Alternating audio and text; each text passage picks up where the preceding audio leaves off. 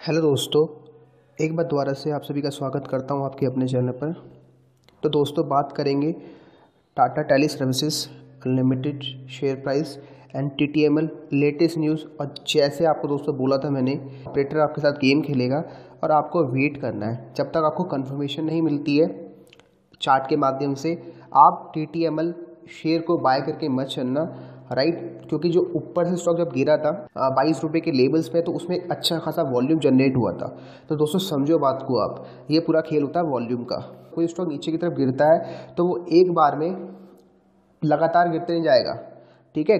Stock का गिरने का तरीका होते हैं, वो लेता है रिट्रेसमेंट लोगों को फंसा फंसा के, रुला रुला के, फंसा फंसा के और रुला रुला के नीचे गिरता है। और इसमें भी यही हुआ। आपको बहुत क्लियर वर्डिंग में कहा था T T M share price को बाय नहीं करना है फंसना नहीं है। जब तक बाई नहीं करना, जब तक स्टॉक आपका साढ़े उन्नीस रुपये के आसपास क्लोज नहीं कर देता। साढ़े उन्नीस उन्नीस रुपये मतलब उन्नीस रुपये पचहत्तर पैसे के आसपास। जो लास्ट वीडियो होगा, उसकी जो क्लियर वर्डिंग होगी, वो अभी आपको इस क्लिप के आगे मिल जाएगी, उसको आप देख लेना ताकि आपको बिलीव हो जाए। हाँ हमने बोला था। और दिक्कत नहीं है, अभी भी हमें जल्दीबाजी नहीं करनी है स्टॉक में बाय नहीं करना है। हमें बिल्कुल भी हमें ये बता रहा है कि नहीं और अब मुझे आपको बता रहा हूँ स्टॉक को मैं कब बाय करूँगा? देखो। आप चाहते हो कि स्टॉक को फ्रेश एंट्री करो तो मैं बोलूँगा कि आप उन्नीस रुपए पिछहत्तर पैसे का वेट करो। हाँ जी हाँ आप बोलोगे, सर, ये तो बहुत ऊपर हो जाएगा। अरे भाई, बहुत ऊपर हो जाएगा, लेकिन आपका पैसा फंसेगा नहीं। बात को समझो, जब तक उस स्टॉक उन्नीस रुपए पिछहत्तर पैसे के ऊपर क्लोज नहीं करता स्टॉक को बाय मत करना। ये स्टॉक बाय नहीं होगा, यहाँ पर ये कभी भी स्टॉक यहाँ घूमे। ठीक है, यहाँ पर अगर ये घूमता है तो ये एक तरह का आप बोल सकते हो रिट्रेसमेंट ट्रेड है, ये घूमने के बाद वहाँ नीचे आएगा। ठीक है तो अगर शाम को किसी भी रीजन से स्टॉक दोबारा से प्लस की तरफ़ चले जाता है, या कल भी प्लस की तरफ़ चले जाता है, परसों चले जाता है तो आप क्या करोगे? जब तक उन्नीस रुपये अस्सी पैसे के ऊपर स्टॉक क्लोज नहीं करता है, आप स्टॉक को बाय नहीं करोगे। इस बात को समझ लो, जब तक उन्नीस रुपये अस्सी पैसे के ऊपर क्लोज नहीं करता है, आप टी टी एम शेयर को बाय नहीं करोगे। ठीक है? ये बहुत सारे क्वेश्चन मुझे आते रहते हैं, सर, इसमें क्या करें अब, क्या करें? तीन दिन की जो लगातार तेज़ी थी, वो मुझे पता है कि नेक्स्ट दो या तीन दिनों में ज़ीरो हो जाएगी, सपाट हो जाएगी एकदम। ठीक है? तो भाई, आपको मैंने समझा दिया। अगर आप सोच रहे हो मैं दोबारा स्टॉक को बाय करूँ तो उन्नीस रुपये अस्सी पैसे के ऊपर जब तक क्लोज नहीं करता है बाय करने की सोचना तक मत। और जितना नीचे जाए एवरेज आउट मत करना।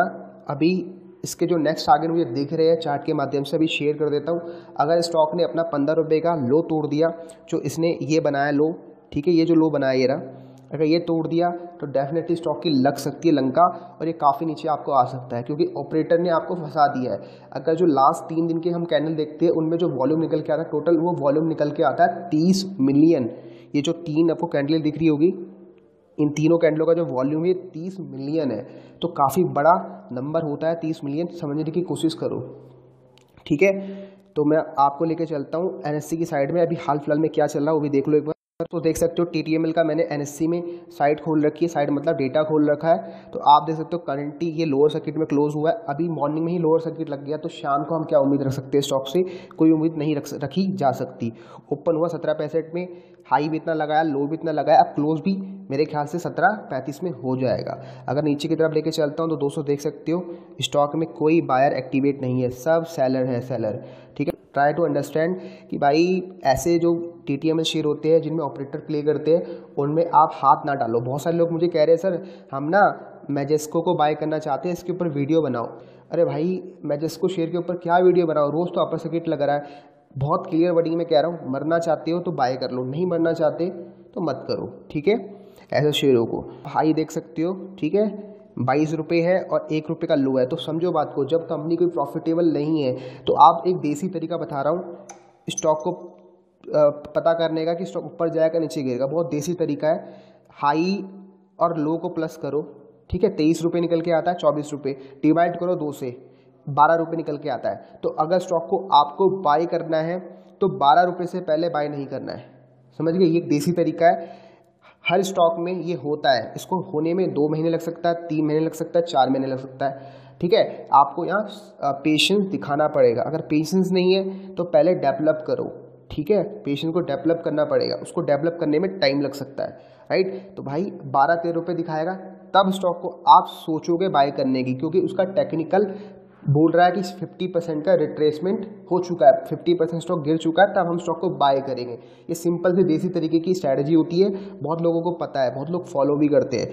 आपको मैंने बतला दी, आप भी करो। जब तक बारह रुपये में नहीं आता स्टॉक हम बाय नहीं करेंगे।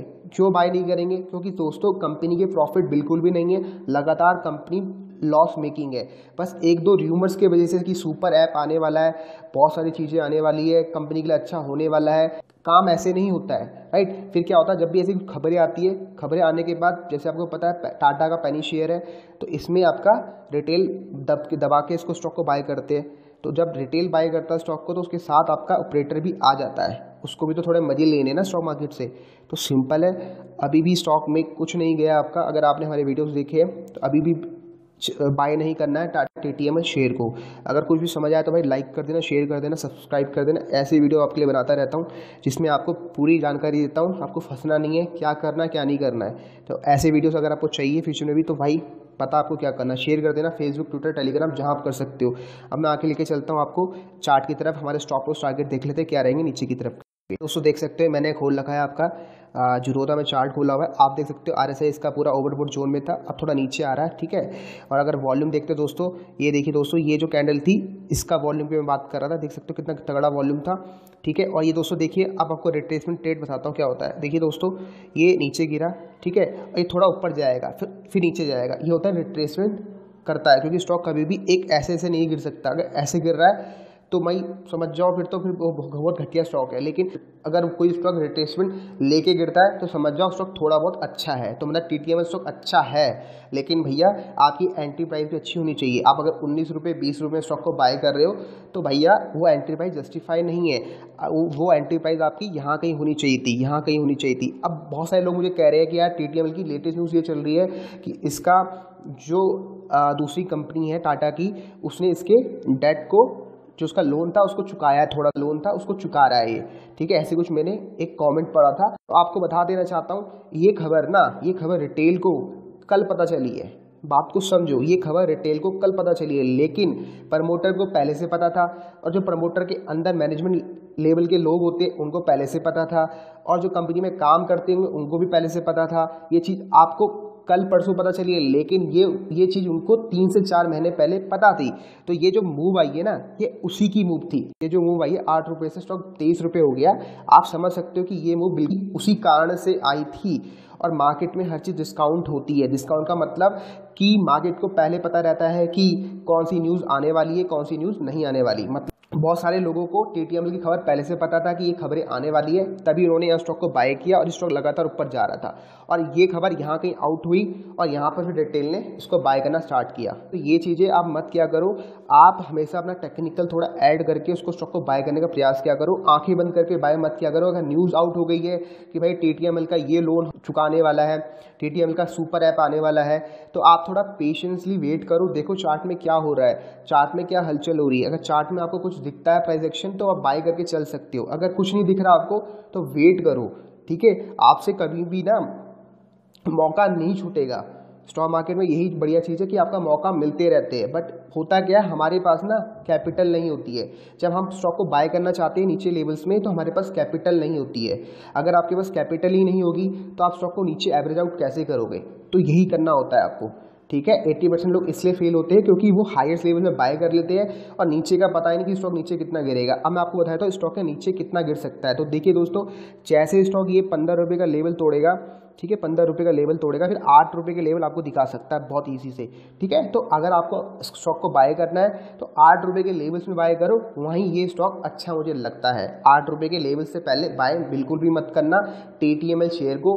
अगर कुछ भी खबर आ जाती है कि भैया अंबानी कोई भी इसको खरीद रहा हो, जो भी खबर आ जाती है, मत बाय करना, जब तक आठ रुपये नहीं जाता और हाँ उन्नीस रुपये नब्बे पैसे के ऊपर जाएगा तो आप अपने रिस्क में स्टॉक को बाय करके चल सकते हो। वहाँ पर भी पहले प्राइस एक्शन देखना। कम से कम ऐसे नहीं कि एक कैंडल क्लोज कर दी, उन्नीस रुपये नब्बे पैसे के ऊपर तो आपने बाय कर लिया। नहीं बीस उन्नीस रुपये नब्बे पैसे के ऊपर जब तक एक हफ़्ते तक स्टॉक कंसोलिडेशन नहीं करता है मतलब वहाँ पर रेंज नहीं बनाता है तो आप स्टॉक को बाय करके नहीं चलोगे। ये तरीके होते हैं। स्टॉक को बाय करने के, ठीक है? तो आशा करता हूँ आपको टीटीएमएल की पूरी कहानी समझ आ गई होगी। भाई, मेरे हिसाब से आपको स्टॉक को अभी भी बाय नहीं करके चलना चाहिए। क्यों फंसना चाहते हो टी शेयर में? यू है टीटीएमएल शेयर में। कुछ समझ आया? पसंद आया लाइक शेयर करते रहना और कमेंट करके अपना सुझाव दे सकते हो और आपका कोई भी स्टॉक होगा रिव्यू के लिए डेफिनेटली मैं लूँगा, लेकिन टाइम लग सकता है, तीन से चार दिनों के बाद वो वीडियो आ सकता है। तो आप प्लीज़ पेशेंसली वेट कीजिए। साथ में हमारे टेलीग्राम इंस्टाग्राम ट्विटर में फॉलो कर सकते हो, कुछ ना कुछ अपडेट देता रहता हूँ। चलो बाय बाय